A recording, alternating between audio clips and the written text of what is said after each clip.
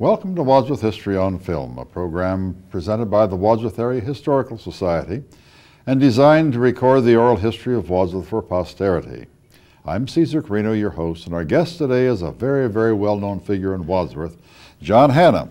Now, we've interviewed John Hanna before as a mayor, however, we don't know anything about his personal life. So today we're going to try to get into his personal life and find out about the Hanna family here in Wadsworth many, many years ago. But John, how about starting right off by telling us who you are, where you were born, brothers, sisters, father, mother, all those kinds of things.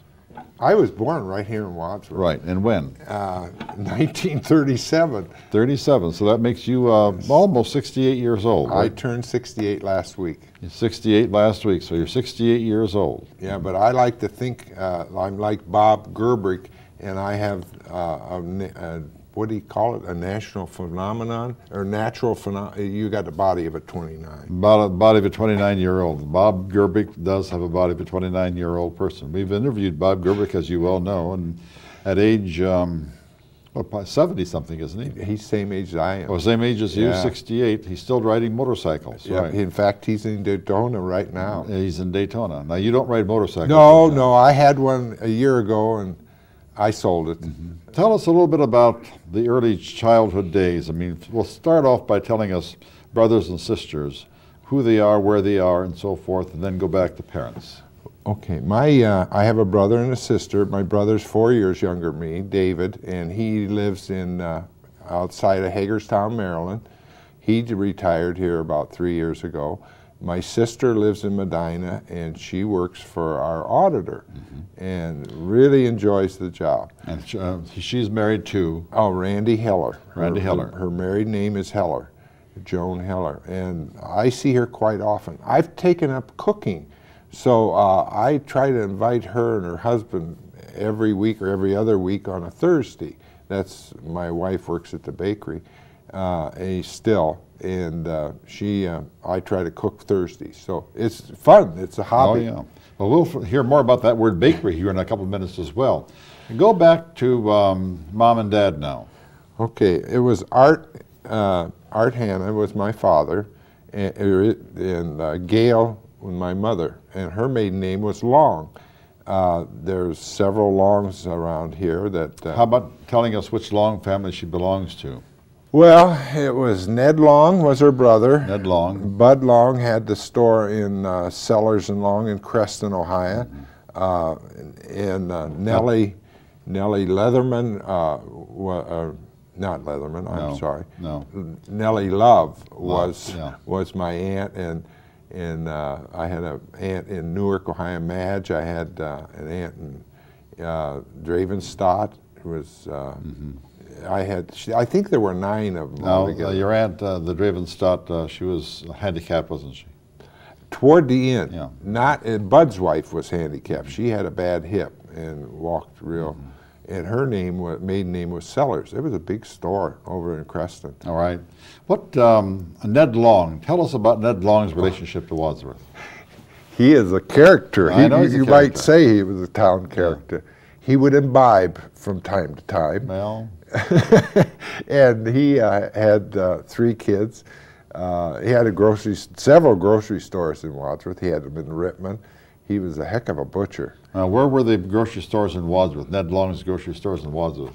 Well, he had one in the south end. But tell us, you know, geographically, because it's not there anymore. No, it's hard to. There's a, I was going to say by the the beer joint. Well, start, start this the railroad side track. of the railroad tracks, coming this way. We're at the railroad town. track, and north of the railroad track, the very first building is the what you call the beer joint. A bar. With the bar. And then there's one more building. That was his. That was his. That was And that actually had several stores in it. I oh, mean, yeah. Several uh, grocery stores in it. And uh, Ned Long was there in the, what, uh, 20s and 30s, wasn't he? Uh, no, he was there later. Was he later than the, yeah, Buami boys a, were there first? Yeah, then. I think in the 40s. Okay, all right, you're right, you're right, yeah. because the Buamis were there before that, and then.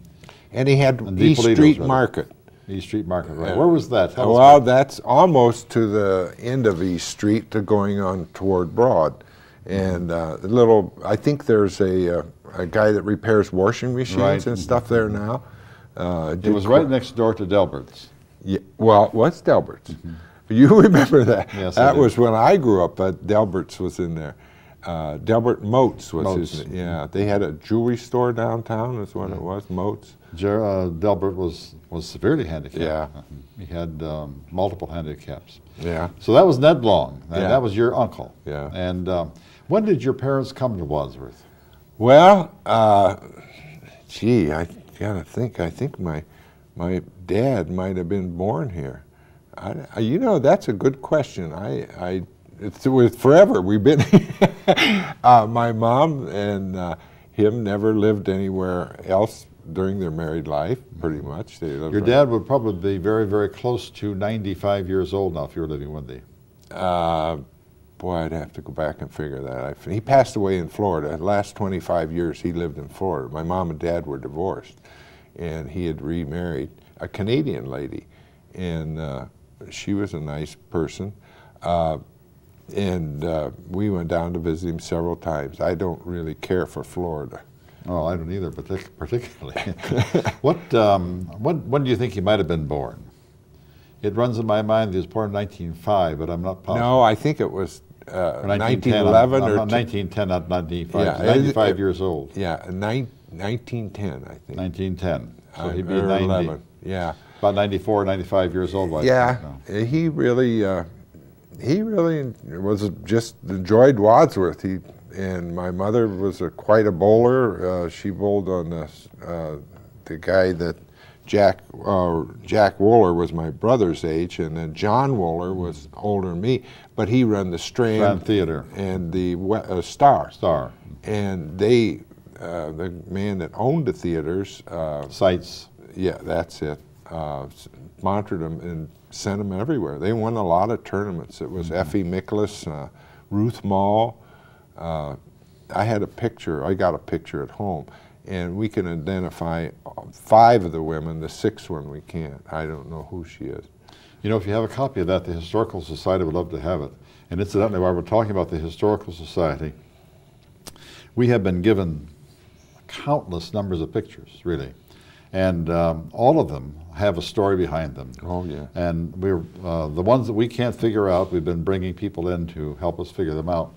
Uh, but uh, Wadsworth history is in those pictures, that's right. Yeah. Tell us about, uh, a little bit about your mother's family, besides um, uh, Uncle Ned. Well, they uh, several of them settled right around here. They grew up later in their their youth. She was the youngest of all the children. And how many were there altogether? I think there were nine. Nine kids. I, as a matter of fact, I think at one time, well, I'm, I'm going to have to reserve this because I'm not 100% positive. I think at one time they were probably related to just about everyone in Wadsworth. you know, I couldn't get away with nothing as a kid. No. They everybody knew who I was and, and would tell my parents. So I I grew up a lot of supervision. So there, there are a lot of longs, and when I was growing up, we lived next to two different ones. Uh, Yeah, they weren't all related though. There was They a- were not related, no. uh, and uh, uh, Nancy Leatherman, she's still in town today, married to Howard. Uh, Pete Love is still in town. He's uh, and Tom Long passed away a year ago, Mm-hmm. uh, and his two sisters now don't live in town. Now tell us about Tom Long. There's a story there behind him oh, too. he's a character. He went he went into service, and then he uh, was an aircraft uh, controller. You know, worked in the control towers, and he continued his career at that after he got out. And uh, he had like five children by his first wife, and I think one or two by his second wife. So he went on with the big family thing. So uh, and he was uh, he wasn't very old. I don't. I think he was two years older than me. So he would have been about 68 when he passed away. Uh, had a lot of health problems. Um, so and then uh, my aunt Vera, boy, she was one of the best cooks. Now Vera what? Was the first. Uh, you know, I heard Roberts was her maiden name, but she was from up around Cleveland. That was Ned's first wife, and they were married till she passed away. And yeah, we uh, it was really a uh, we had a lot of fun uh, together as a Where did family. you live as a, ch- as a child? Uh, Uh, South Lyman. on South Lyman. Who were your neighbors? Uh, on the one side were Phrases. Which phrase was that? Well, it was Leonard. Was his Leonard. Phrase? Yeah. He used to live on Durling Drive, though.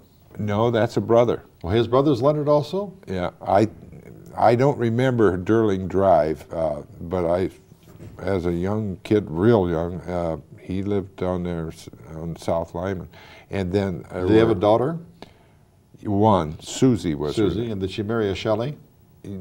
she lives on the East Coast. She married Okay. somebody when she went to she? college, and lived in, I, I think Boston or somewhere. Now, the reason I bring these things up is that now tonight I'll get a phone call and someone will straighten me out on this whole thing. well, you know, don't take for gospel what I'm telling you either. I mean, it's just memory. You Yeah, know. but Leonard Phrase um, lived in, on Durling Drive and he had a daughter and then she married um, Carl, um, Carl Shelley. I think Carl Shelley, I'm not positive. well, But we'll get that, we'll get that straightened yeah, no, that I'm pretty sure that was a brother, A brother? maybe a cousin. Uh, the phrases, uh, they were good neighbors. Bruce grew up in the same age as David, my younger brother, and uh, he passed away while he was in college. Mm-hmm. Quite a brilliant kid. And they said, uh, and Susie, there were just the two. And uh, then on the other side was Williamses. Which one? Which William? Well, you know, they were all older than me, and the one gal, uh, I bowled in a bowling league, and she was uh, told come up and approached me and said, "Oh, I used to babysit you," and and I said, "Well, I don't remember." Then there was Benny Lee on the next one up from him. Benny Lee. Yeah, and he was. Uh, he, I think he worked a mat shop, but he uh, was a beekeeper. That was kind of interesting. We I'd uh, like to get those cones as a kid, you know, that were honey in them that hadn't been spun out, and gee whiz, it was. But we got stung a lot. I'm sure you would. How about across the road or across the street from you? Well, there was a Shevel that lived across the street, a Ray Shevel, and uh, he's still got kids around the area, a Judy and a Tom that I can, I don't know how many more were. Next was a rental property, but the I think it was uh, the police chief was in there, and there. See how I lived there. It was. Uh, Which which sheep? Tommy Lucas? no, he lived in Lucas Court. That was, Okay. I think it was, uh, you say one here, and, uh, uh, Rod Lonier? yeah, I think it was Rod. And He lived there for a while. yeah, then he bought a house. He bought uh, a house, but he, but he that married, was- Rod Lonier married a um, an Irish girl, I believe. Oh yeah, she yeah she had an accent. You're right. Yes, Uh, and then the War Bride. and I can't remember the next one. Uh, uh, that was another rental house. At one time, the Mustrick boys lived there. Uh, I think either in that house or the one next to it. There were Steve and George Mustrick. They uh, George went on to be a dentist, and Steve went on to be a doctor. It's vice versa. They had nothing. They were, uh, and they were. Uh, I don't know how they went to college. You know, turned out to be really nice boys. Probably what, the way that many other people did. They just worked Yeah, hard work for. You know, uh, the South End. Um, some people turn their noses down at the South End. However, we have evidence of at least ten college professors from the South End and at least two or three doctors, oh, yeah. I mean, those boys both were doctors, and they were raised and there. several several pharmacists, Yeah. Oh, lawyers. Yeah, we have some very good, very fine lawyers from the South End. Oh yeah, yeah. They, uh, they, they didn't have a lot of gold, but they surely had uh, a lot of uh, wisdom, oh, all of them. Yeah. That's wonderful people. yeah. Um, just a little bit more about uh, the neighborhood. Um, you lived on South Lyman Street all of your growing up days. So you therefore went to what school? Uh, Franklin. Franklin School. Yeah. Who were the Who were the people there in Franklin School? I got to tell you, you know, the Ray Holcomb it belongs to Lions. I'm a Lion at there, and they had. I took uh, two of Jeff's kids to the. Uh, Now tell us who Jeff is. Oh, Jeff's my uh, middle boy. He's a dentist in town here. Uh, to the uh, show to see the show choir. Mm-hmm. They have them in there every year, and really a big deal. And I said, people come over and we talked, and when it was all over, and I said, now, don't don't leave, we're, don't get up, we're going to sit here a minute and let the people clear out. I want you to meet uh, a man, uh, my teacher. And he, he, said, oh, okay. Jeff, or uh, yeah, Jake's his name, but it's Jeffrey. And he's about, well, he just turned 10. This was two years ago. He was eight years old. And so we went over to meet Ray, and I said, Ray, I want you to meet two of my grandchildren. And uh, he would talk to him a little bit, and they was listening, and boy, looking, just looking him over, you wouldn't believe. well, we got out in the car, and he says, how old is, uh, is Ray Holcomb, Mr. Holcomb? And I says, you know, gee, I really don't know. He said, he must be old. he must be old. I told Ray that story. I said it wasn't anything that he looked old, but he figured his grandfather went to school. He was a sixth right. grade teacher. Well, Ray is up in years. Yeah, he's really good. Uh, uh, and uh, there was a fourth grade, well, Mrs. Uh, Hartman, Miss Hartman. Miss Hartman. At that yeah, time. Yeah, she got re. She's married. She married then. I run into her. I think she still lives in Medina. Or well, lives on Route 57 on the way into Medina. Yeah. Uh, yeah, she's still still very viable. And uh, she was was my art uh, music teacher. That's right. And just nice. And she recognizes me. You know, when she sees me someplace. I was at a function as a mayor and she was playing the piano for the function yeah. mm -hmm. and up in Medina, and I just couldn't believe it. And uh, the other one was called Miss Barker at the time. She married a McCafferty then. Yes, uh, Helen. Yeah. Helen Barker McCafferty. She was my uh, fourth grade teacher. She has passed, since passed now, Yeah. Passed on. Yeah. Her husband then came to, well, they, as a matter of fact, her husband came to Wadsworth in 1945 and taught biology. And Miss Barker and Mr. McCafferty had a very um, professional relationship. Yeah. but then they got married. Yeah. and uh, wonderful, wonderful couple. Yeah. I loved them both. Uh, and Helen McCafferty um, just exuded all of the things that a good teacher ought to exude. Oh, yeah. I think I got my first paddling from her, though. Well, good for her. Yeah. she paddled the mayor. Well, there was there was occasions the other teachers did this too, you know, mm -hmm. for, I, I, for, no reason. I am sure that there'd be no reason, John. No.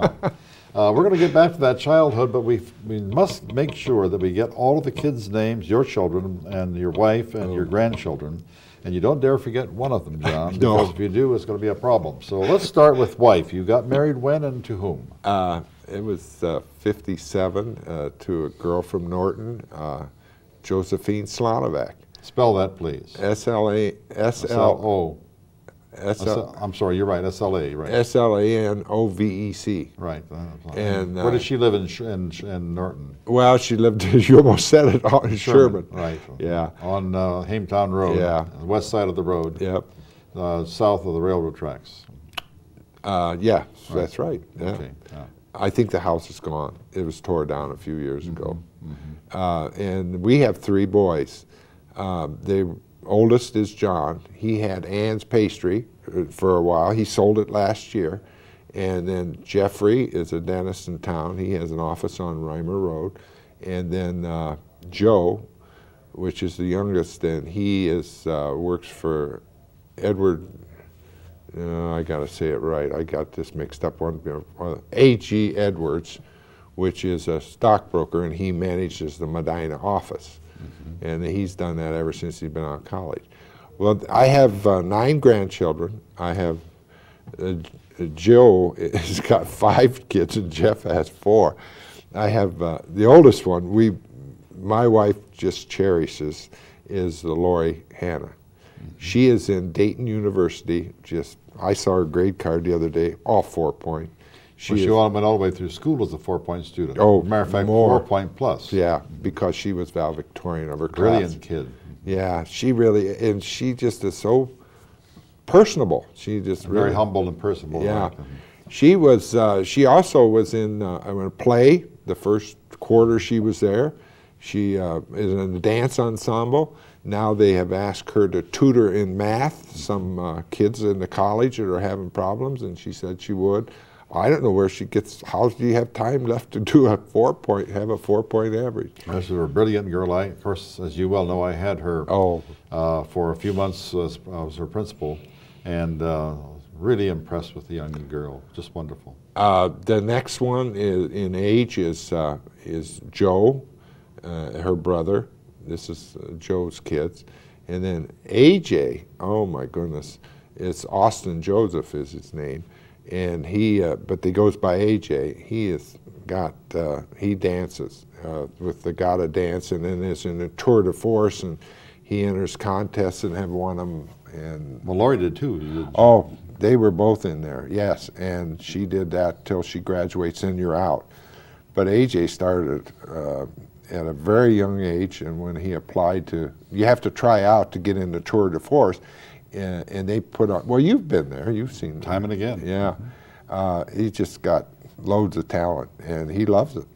And then there's uh, Benjamin, Ben, Big Ben. He's ten year old and Joe, uh, Joe's, uh, and uh, Jeff's got a 10 year old too, a boy. And they're like 20 days apart, their birthday. Mm -hmm. And they are close. Oh my goodness. I like to, when we have a family gathering, when they're both there, I like to try to sit next to them to hear what they're saying, but they don't talk loud enough. They don't talk loudly enough. and then uh, there's, uh, after uh, Ben, they, He's uh, he's the ten year old. They just turned ten in January, both of them. Their days, uh, birthdays aren't very far apart. Uh, then there's uh, Sam, Samuel John. I got my name in one of them, and he's five or four a half. And boy, what a character! I said he must be as smart as Lori because he, he talks all the time, and Lori did that as a little toddler and just chatters. Uh, you know where he's at all the time mm-hmm. because he's talking. He's talking and then uh, in Jeff's, he has an 11 year old daughter that is Alexa.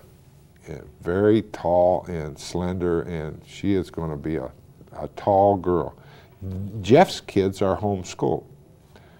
I don't agree with that, but uh, it, I can't say anything about it. No, you're on the grandpa. Yeah, I, I, think I should have more authority there. And then, then there's Jake, uh, which is Jeffrey Allen the second or something like that. And he's he's a 10 year old, cute as a button. And then they have Austin. They, they have another Austin. And uh, they asked Austin Hanna, if AJ, if they could name their boy Austin. He was he was greatly honored that I they would imagine, do that. Surely. Yeah, and they. Uh, uh, he's he, there's a real character. I don't know what some of these, and they have a young girl that's five, and their their birthdays between Sam and her. Her name is uh, Avery. Uh, is very. Uh, they're only 15 days apart, so they ha- it's quite a get together when when they get together. Right now, where where do the kids live, John? Okay, uh, Jeffrey lives well next door. I have since moved to Seville, and uh, and Jeff lives on Seville also, which is Hubbard Valley Road. Mm -hmm. He had bought some land from uh, my uh, brother-in-law Joe that he had owned out there, and then he brother-in-law Joe Slanovec. Yeah, but Joe Slanovec does not live there. He lives next to the airport, does he? Yeah, not? Sky Park, Sky Park, right, right up there, and uh, built a house. And Jeff found this house out there, and uh, uh, the next door, it, it, but it's about a mile away but our properties touch. Mm -hmm. So my wife had told me at the time I went through quite a period of illness there, and uh, she said, You would be the biggest couch potato. Well, I've got plenty to do now. I'm out there and I really enjoy it. So, uh, and Joe lives in, in Wadsworth here, out behind the hospital, of that new allotment, and Johnny lives in that Slefco allotment up by the water tower in 261. Okay. And now then, John, let's start with uh, 1957. You got married. And uh, trace your history from there to the present day uh, with all of the things that you have accomplished. Um, and I say this with all affection because I come from the same background for a South End boy. Yeah. Tell us all, all the things you've accomplished. Well, I think my greatest accomplishment is we just talked about it, the yeah, children. Your, your, children, that's right, absolutely. There's no greater accomplishment. Yeah, that's and true. that's uh, that was just a, a, joy watching them grow up. But got married to Josie. Yeah. 1957. we uh, we lived in Barberton a short time. I worked for Isaly's, and then uh, I went to work for the injector, and I moved to Easton, and we moved to Wadsworth, and bought a house on Baldwin Street, and then When uh, was that? What year was that? boy, you're I, I'd have to. You should have given me a heads up on it. I just was there, uh, and uh, then we lived there, and the kids all grew up there next door to uh, Yoakum's, and What, uh, what's Yoakum? Uh, was Bank- Gary. Gary The bank president or the? no, no. Gary worked for the gas company, and he had uh, three children. Uh, there was Chris, and he works as a mechanic down at, for the Smithville school system. Okay. Uh, that school there, and then uh, it's uh, Celinda, and uh, there was oh yeah, that was sad. Little girl was killed. Yeah. Uh, and across the street from uh, Freed's, uh, uh, D. Freed's parents, and uh, yeah, that was. And uh, my uncle had lived on Baldwin Street too, Loves. And uh, incidentally, Jack was uh, uh, he retired professor from uh, uh, from Buffalo University. Or Another University. South End boy from Yeah, professor. That's right. yeah. That's now, John, on Baldwin Street, uh, tell us who the people were around you. Well, Don Hawk lived on the uh, west, West side. side. Yoakum's lived on the uh, next door to the other side. Right. So that we get this straight, there was a Yoakum family here about 20 years ago. The father actually was the manager or whatever they call that person at the First National Bank at that time. Now it's the Huntington Bank. Yeah, no, it wasn't them. It's a, different story altogether, right? It's a different Yoakum. and Lobenthals lived on the next the next house. And Lobenthals were the teacher, and uh, Glenna Yeah, Lobenthal. Oh, they and were- everyone loved her. they were characters too. He was really, uh, and I had a little dog while the while the kids were growing up, and it spent more time at their house than it would at mine. Oh, really? Yeah, I tell the kids, go get that dog back again. And they'd feed it and take it in the house. It was a little chihuahua. And they, well, we were very close. And then I think the next house was uh, O.J. Work. Uh, On Baldwin Street, yeah. yes. And he had one daughter, um, um, hmm. and I know uh, I went to school with her. Uh, it'll come to me in a second. And, and that's about as far. Joanne, Joanne Mark. Oh, yeah. Joanne. And he, I was always scared of him. Why were you scared of him? Well, I wasn't the best kid in school sometimes. I go home before school was over. no, I did. Well, we won't go into that. Yes, we are. My my kids, my my grandkids. I always told them I was a student. you were, Oh. you're an A student. No, my- I was. My biggest fear was that uh, Chuck Parson would come to my retirement party and bring up my grade cards. Uh, tell us about your being a neighbor to O.J. Work and how how you felt about that, since he had been your principal and a Oh. very severe and strict principal. I he'd always speak to me and really nice and oh boy strict that was true. Uh, then across the street, I've been trying to think of the name. The next house up from Freed's, going east. Uh, him and that the guy that lived there were real good friends, and one day they're going to trim a tree, and them two older people. I, I didn't say that at the time, but I said they got up in that tree and with ladders and stuff and we're starting to cut the tree. I said, What are you guys doing? You gonna cut the whole tree down or what? Well, no, we just thought we'd trim it. I, it's funnier than heck. I finally called the grandson of the uh, the other guy because I worked with him at the injector, and uh, told him what the they were doing, and he come up and boy took their ladders away and told, them, "You guys are way too old to do that." Absolutely. yeah. And it was funny. Can you remember who that was? At, um, I East can't- of D. Freed? Yeah, it was just east of them. Oh boy. Uh, but I, I'll think of it too later. Yeah. And the cemetery was right behind Yeah, us. right, of course, right behind you. and uh, the kids played over there all the time and they there was a field that wasn't being used it was quite large. They, we built baseball diamond for them back there. And it was a nice uh, neighborhood. The other side of Hawks were Dana Millers, and they had three boys. So there was loads of boys in that neighborhood. Yeah. And uh, somebody was crying all the time. I'm sure, that's true. It- you- Now, you said that you worked at the injector for a while. How long did you work at the injector, and what did you do? Uh, I worked in the Ford shop. I was which? Forge F. Forge, Forge, shop, right? okay. Yeah, we uh, forged steel. That's nice, um, nice, cool work. I was. Uh, I started out as a uh, sawing the uh, metal up into pieces that they could forge and heat, and I was in charge of saws. Then I went to be a heater, which in charge of the furnace, and then to get the top rate, you had to run eight hours, run the hammer itself. It was a 2,500 pound ram with a dies in it, and they took hot steel. We about 3,000 degrees and forged it in, uh, into. Uh, Now, you say top wage. What was top wage?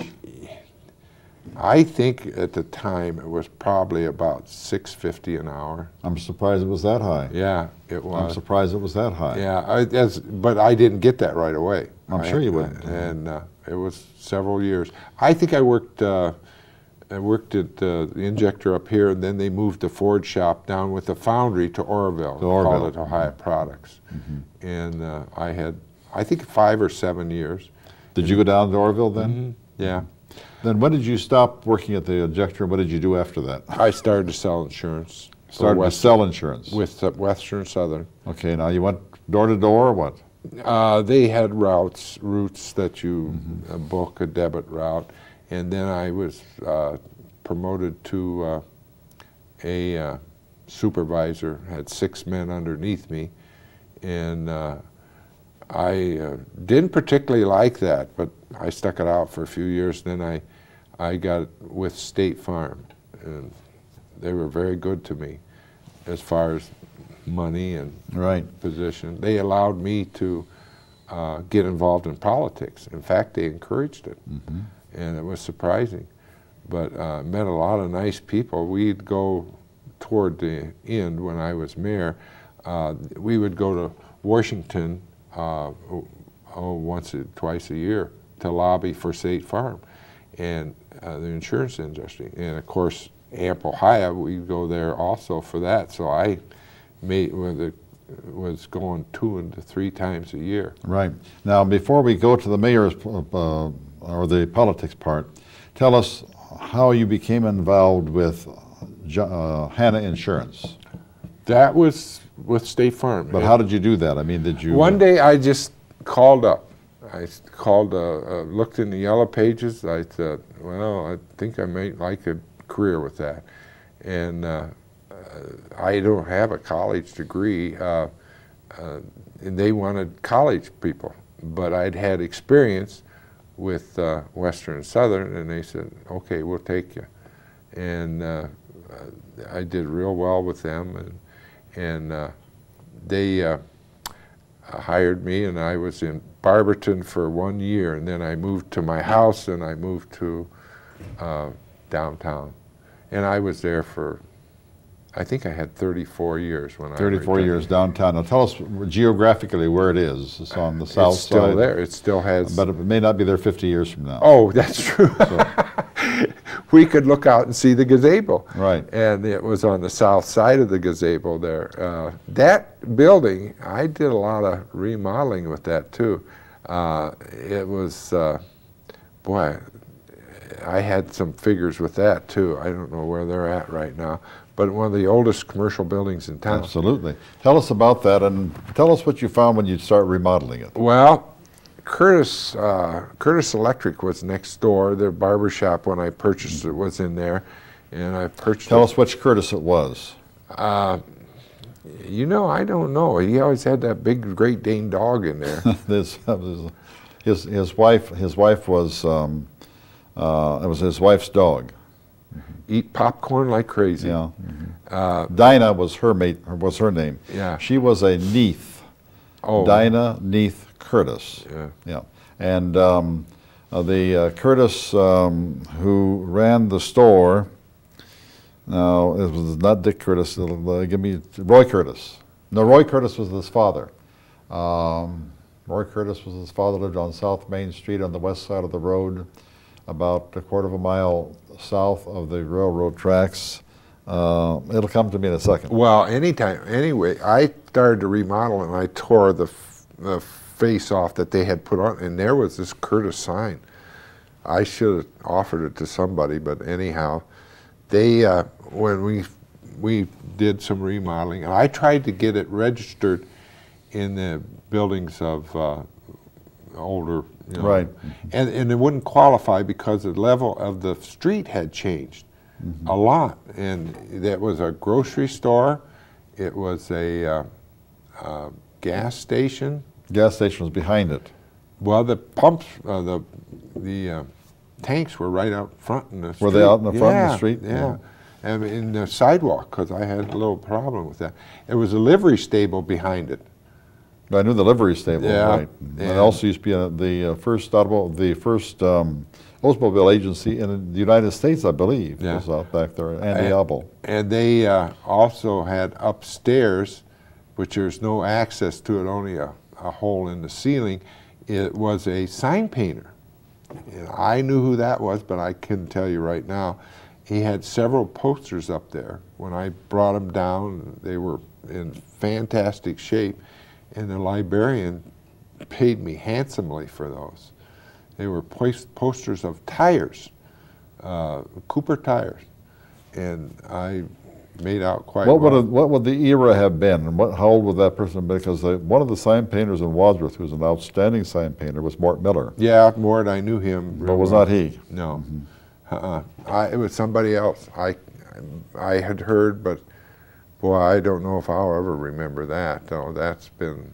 I, I tried to get as much history as I could, and I, I saved all of that uh, when I, because I knew I was going to try to apply for this uh, uh, uh, designation to be in the registry of older buildings.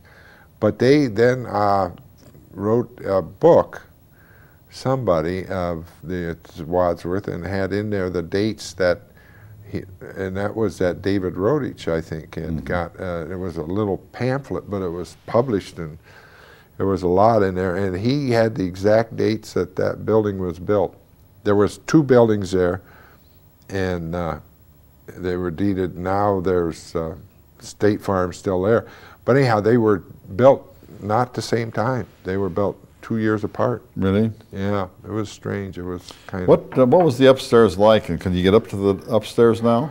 uh, only through a, a crawl space. Uh, you had to put a ladder up and then go through the ceiling. What was it like? It was uh, pretty much open. Uh, had uh, some plastering in there, and where they'd made rooms, and you could see old jars that were used for paints and stuff, and uh, then the posters on the wall that I took down, and uh, yeah, that's pretty much uh, it. Uh, there wasn't a lot of uh, finished. Their stairway was in the back where it come up through like uh, the back part of that building because it's in two levels. It's just the front half that's that's finished. So you were in the insurance business for 34, 34 years. years. Now, a while ago you mentioned Ann's Pastry. Tell us about Ann's Pastry and how your, uh, your Oh. Well, relationship with that. My, my oldest boy, I had bought Coon's building to where Coon's Bakery was. Tell us where Coon's Bakery was and tell us what uh, is there now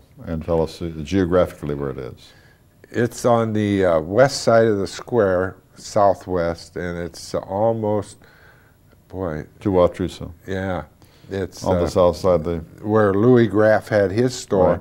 And it was next to that. It Right, was very small, very 20 narrow, very 20 narrow. feet wide is all it was. and I, Coon's uh, was preceded by Cool's Bakery. he, Mr. Coon, was getting old and ready to retire. I think he was close to 70 or he was in his 70s. And he said, I'm going to come to me because I owned the building. He paid me rent. And he said, uh, he says, I'm going to have to close down. You better look for somebody else. I said, well, what's the problem? I can't get help. I said, I got a, Johnny was a senior. He was 16 and was driving. I said, I got a son. We want to see if he'll work for you. Yeah, send him around. Well, Johnny loved it. He uh, he had a knack for it. Mr. Kuhn did, and then I was uh, when he graduated. Then he worked as he would he would go to work and work Friday night, get up Saturday. I mean, get finish work Saturday and go with the band on contest. Well, he'd go for almost 20 some hours without sleeping. Without sleep. And he You can do that when you're 18. I think it makes a big difference. But he uh, he come to me, Mr. Did, and he says, that kid's got a knack. You want to buy it, business? Well, I said, I better talk to him and my wife too. I said, it's not easy to make that kind of a decision. I said, do you want to go to college? No, I don't.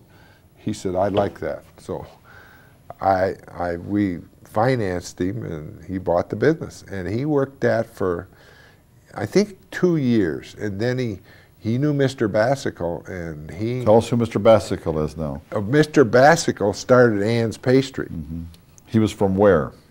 He come from Cleveland. Cleveland, right. Yeah. And there was another one, uh, baker in town at that time was, Seuss. yeah, uh, was Millie was Frank Collins' first wife. Right. mhm. and uh, they were all old characters. Gee.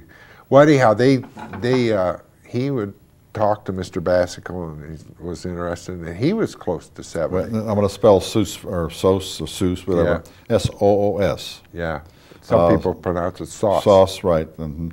As a matter of fact, um, I worked with Mr. SOOS's brother-in-law, and he pronounced it sauce, or Seuss, and they some people call it sauce, but it's S-O-O-S. Boy, he was a bread baker. And he was. And tell us where that bakery was in relationship to uh, Ann's Pastry. Ann's Pastry is on the west, on the east side of um, High Street, about what 200, 300 feet uh, north of the square. And Uh, Sauce's Bakery or Seuss was uh, almost directly across from my office. Right, but it's on the north side of the park and um, parking lot now. parking lot, what, uh, 150 to 200 feet Yeah, east of High Street. And it was a wooden building. yeah. Okay. And uh, Mr. Bassicle had a all masonry building. Now tell us who Mr. Baxo is. Oh, he's the one that had the bakery and uh, Ann's Pastry, and he started. He had- Bassicle. Bassicle, Mm-hmm. and he uh, he moved into it, and I think that was a telephone office, Caesar. No, the telephone office is upstairs. Yeah, uh, but uh, it was all masonry, glazed tile in there, and uh, of course easier to keep clean, and it was ideal for a bakery. So Johnny liked that idea, so he he went over and talked to him, and we uh, we made uh, a deal with Mr. Bassicle, and uh, Johnny had that I think 28 years. 28 years. Yeah, and he sold it this just last year. Who purchased it? We need to know that for the historical Uh, it was uh, uh, this gal named uh, oh boy, well Bill Simmons and uh, the gal. She Bill bought the building and then she bought the business, and they're kind of a partners in that. Uh, and uh, her name now is Boone, and she was a Herger before that. Uh, uh, Glenn Herger. Glenn Herger's daughter. Yeah, and same age as Johnny, and she had worked for him, I think, six or seven Glenn, years. Glenn Herger's wife was Janet Freed. Oh, I didn't know that. Yes. mhm. Glenn talked real slow. Oh, yes. He was a township trustee. I got Wonderful with him. person. I went to Yeah. school with him. Yeah, he's a nice guy. Well, he's a little bit behind me, but uh, we were in school, you know, somewhat contemporarily. Now, did you say a little while ago also that Josie, your wife, still works at the bakery? oh yeah, she. Tell us why she works at the bakery. Well, Johnny uh, didn't do any of the bookwork. She did it all. She did the ordering, uh, or, or paying the bills and the payroll. She only the only time we saw a tax guy was once a year. Uh, she did quarterly reports and everything, but she also worked at the bakery selling stuff and hiring and hiring the people out Kind front. of the front office girl, as it were. Now, um, eight to five for the big. what are those hours? She goes in now on Friday and Saturday at five in the morning. She's there. They're open. They're selling stuff, and she works till eleven thirty. On Friday and Saturday, and then she goes in Monday at 11 or noon and works till 5.30, and she does the same thing on Thursday. And what time does the baker himself or herself come in? Well, that's a good question. Usually Johnny would start at 4 o'clock or 5 o'clock and work till he's finished, which would be 2 o'clock in the morning or 3. And on holidays when they were really busy, he'd work uh, almost 12, 14 hours. Right. In other words, um, for the cream sticks to be out there in the in the showcase. Well, they're certainly fresh because that was there's hours is all. There may be less than six hours right. when they're finished or four hours. That's great. Now we're going to have to go back to some of your earlier days again for a couple minutes, John. what um, what actually got you involved in politics? Because we have a huge element of your life here that's been politically oriented. You know, and I've enjoyed all of it too. I'm sure you did. Yeah, we. I was living on Baldwin Street at the time. Bob Gerbrick, for what reason I don't know, approached. Uh, he came up there and I signed his petition to run for consul. Yeah, and he wasn't elected. It was wrong Gerbrick. uh, and the next time uh, they were going to run, uh, J.D. Henson invited me to the house, and we had several people that were going to run and stuff. And they, but they asked me. To tell us who J.D. Henson was. Well, he was a mayor. Boy, I I don't know how many, and he worked at the injector, so he already knew me, and uh, knew my father, and he uh, he's still living, but I think he, he lives on Park Street. Park Street. Yeah, and Kentucky. Spends a lot of time in Kentucky. Well, he's, he's originally from Kentucky. He's been here since 1939 or something like yeah, that. Uh, Married uh, Cora Ford. Yeah, that's it. Mm -hmm. And anyhow, they uh, they encouraged me to do this, so I run. Uh, I was. Uh, who was at John, Who was at um, JD's house that night when you went? Boy, you would ask uh, the old stalwarts, pretty much. Uh, Who were they? Yeah, that, I got to think a minute. It was, uh, well, Mid Johnson probably was there. The other one is uh, uh, up there in North End that lived on uh, Good Street. What it was Carpenter. June Sondels. June Sondels' husband, Bob. Bob. And June. Mm -hmm boy, I can't think who else, but they were always there. They were involved with politics since day one, and they still are. They were at the chili cook-off for Mike Kovac, mm -hmm. and I hadn't seen uh, Mid Johnson for quite a while. She she was really, it was a lot of fun. But the old old timers, uh, and I said, well, I have to ask my wife. So I went home, and she said, I don't care. You ain't going to get elected anyhow. well, you did though. Yeah, yeah. I've lost. uh, I've I had figured I was. Uh, I had hold every position in, in council, uh, councilman award, councilman at large, uh, and I lost one race. It was to Mike Jones. In Ward Two.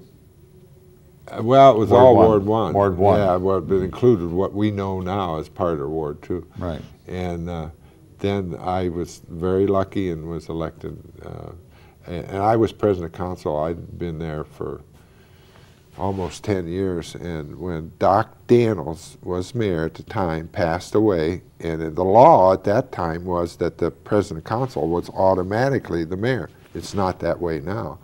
But uh, so I finished his term and then run for two more terms and uh, really enjoyed it. it it got to be a lot of work. I was still working the insurance too, but uh, boy, they encouraged me. I got to tell you a story. Uh, State Farm, the the vice president of Ohio, was quite active in politics, but he was a Republican. But he sponsored Democrats too, and I, I he'd asked me would I put on a fundraiser for them, and then he'd send out the invitations or or through the company, and or he did personally and paid for it, and, and judges and stuff. There was a judge, and I can't remember his name. He come down from Cleveland, and we had a fundraiser up at uh, the galaxy, and he uh, was Slovenian. And I says, boy, I said, you know, Judge, I introduced myself, and I says, uh, Lambros. probably. And he said to me, I said, you know, my wife's Slovenian, you know, just telling him when I met him. And he said, oh, you're a social climber. and that was funny. I remember that guy. He, and, and the other one that was impressive was uh, the gal that run for the Supreme Court in Wadsworth, uh, and her her dad had started Sharon Country Club. That's uh, O'Neill. Oh, oh yes, right. And he flew her all over the state, but she come in there, and uh, I was introduced to her, and she's very, very prim, proper, and all. And she, I said, you know, I'm really excited when I found out I was going to do this and get involved with in helping. And she said, oh, thanks, and you know, Mr. Hanna and all this. And I says, yeah, I heard you're the first and only woman that ever played Sharon Country Club. they dressed her up as a boy, put her ball cap on No her. kidding. Yeah, and, and she played 18, 18 holes. She is the daughter. She is the daughter of of um, uh, O'Neill. Yeah, Yeah, and of course he started the country club up there. yeah. I, I I knew her personally. A lovely, lovely soul. She married a friend of mine. Another attorney. Yes, right. mhm, Uh, Lytton. Uh, wonderful people. They really are. I And mean, she's been very- politics notwithstanding, she's just a good person. Yeah. Just a wonderful person. Tell us about your years as mayor. Tell us what happened. I mean, what happened? What? Well, what the big- accomplishment I like to be involved with is right here. We, we uh, under my administration, and of course not with my knowledge, but I, Bill Lyron told me, he says, boy, you make an excellent cheerleader. we, uh, we put in the cable in Wadsworth and run the cable to the schools, every school, eh, where they have the servers at the high school and they can tap in. They even did this for Sacred Heart. Uh, I insisted they do that, and because you know, it's part of Wadsworth, we all go to the same, same. Uh, Well, yeah. Well, anyhow, that was probably my greatest. I had visions of going on further, but boy, I'll tell you, the state politics is something else. it was very expensive, almost prohibitively expensive, unless you're I wanted to independently wealthy. Yeah, I wanted to uh, put a phone system in and, and be a hub here, and uh, they uh, they started to fight us something fierce down Well, there. actually, you know, the fact that we have cable in Wadsworth is almost unique. Well, it can't be almost unique. It either is unique or it isn't. But it- is um, a rarity because shortly after you and Bill Lyron and others um, provided for this, the big cable companies started fighting Oh. furiously. And we are the only ones, well, I th- I think there are three in Ohio That's right. And maybe only four or five in the United States because the the big companies. And what really impressed me was the fact that we have one little, uh, well, not one little attorney. We had one very competent attorney, Norman Bragg, who fought against rooms full, rooms full of attorneys. I watched him do it, and he beat them, and we still have it. So Well, you know, it's like our electric company that we enjoy Same, that's Wadsworth. right. Same principle. I I think the the city and, and the citizens should own it. You know, it's it's saved millions of dollars. well about a million dollars a year. yeah. Uh, so the citizens of Wadsworth, yeah. that is. because if you still have a Warner cable, you get it enjoy a, half price because of our That's right. being here. Yes, because right across the border, the, the boundary line, uh, over in Norton, it's the regular price, and because they want to compete with Oh, I us. know. So Wadsworth doesn't care one way or the other if you buy Warner or Wadsworth Yeah, Cable. that's right. The fact is, is you can get both of them for an inexpensive amount because the um, And they've won uh, this. Uh, a lot of people from other areas come in to, uh, to look at this uh, facility we have here for WCTV and ask how we do it. Well, I know Medina uh, gets some money like from uh, their cable system up there, and they spend it in with the general fund. Well, whoever was responsible, and I kind of think it was Bill, would never commingle those funds. But in a uh, statutory city as we have here in Wadsworth, not allowed to, or not supposed to.